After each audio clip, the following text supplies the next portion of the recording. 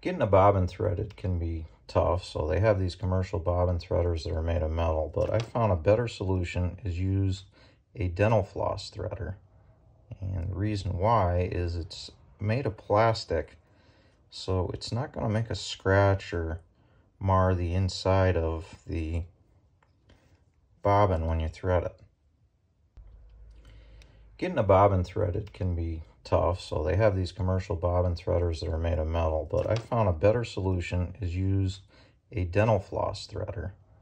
And the reason why is it's made of plastic, so it's not going to make a scratch or mar the inside of the bobbin when you thread it.